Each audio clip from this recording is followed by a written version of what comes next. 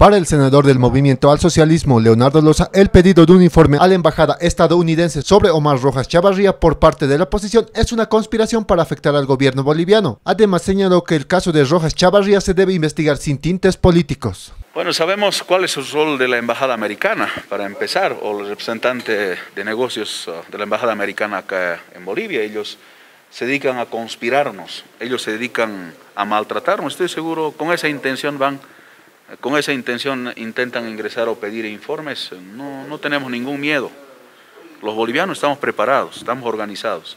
Estoy seguro con tema de excusa del narcotráfico, buscarán involucrar, buscarán generar polémica, pero estoy seguro detrás de eso está la, el afectar a nuestro gobierno democráticamente electo, pero recalco, estamos unidos, estamos organizados, vamos a resistir cualquier golpe, cualquier intento de golpe que intenta, venir, eh, que intenta ingresar o venir de, de donde sea. Tiene que investigarlo, tiene que investigarlo, ojalá no se politice, ojalá no se maneje políticamente, ojalá no se pueda manchar, ojalá no se puede pintar de un color, de una intención política.